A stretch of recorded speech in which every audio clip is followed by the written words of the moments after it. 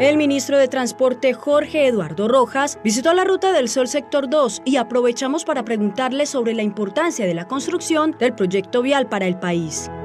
Este es un proyecto que va avanzando, eh, son un poco más de 600 kilómetros de vía en Ruta del Sol 2 que estamos trabajando con eh, un consorcio como es Ruta del Sol.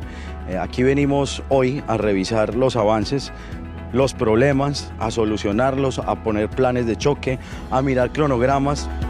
El ministro se comprometió a prestar sus buenos oficios para que la obra continúe avanzando.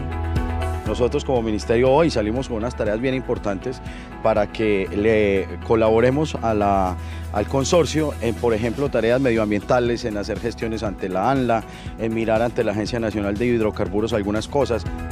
A la visita del ministro también asistió el presidente de la concesionaria Ruta del Sol, Eder Paolo Ferracuti, quien mencionó la importancia de esta actividad. La importancia es que podamos no, enseñar todo el trabajo que estamos haciendo, ¿no?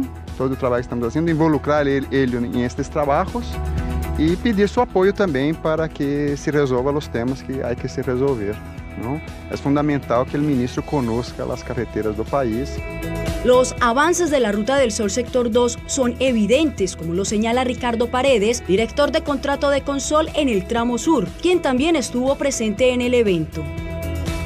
Bueno, el avance de la obra, hoy estamos con cuatro frentes de obra trabajando en simultáneo, ¿no? Estamos en Boyacá, estamos en, Santander, estamos también en el Cesar y también trabajando en la transversal eh, Gamarra Río de Oro. ¿no? Tenemos cuatro frentes que estamos trabajando y yo creo que los avances están de acuerdo a lo programado, estamos avanzando bastante, bastante bien.